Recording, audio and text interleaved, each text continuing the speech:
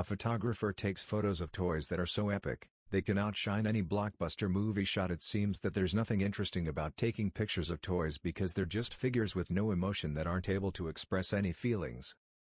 But creativity and talent can produce some outstanding things, and photographer Jared Middleton proves this to be true. He chose toy figures to be his models and takes great photos of them that look just as cool, if not cooler, than any blockbuster movie shot. Here at Brightside, we're inspired by his work and just can't resist sharing it with all of you. Jared Middleton is a photographer whose models are toys.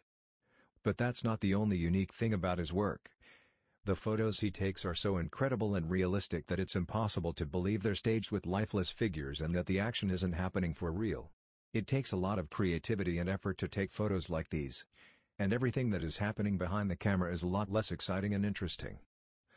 Middleton uses real fire and water in his photos along with many other tools like wires to make the figures stand in the right position.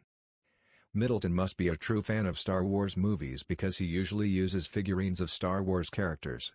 However, sometimes his action includes a mix of other toys. The most contrasting ones are Pokémon characters. And although these photos are a little different, they're no less outstanding.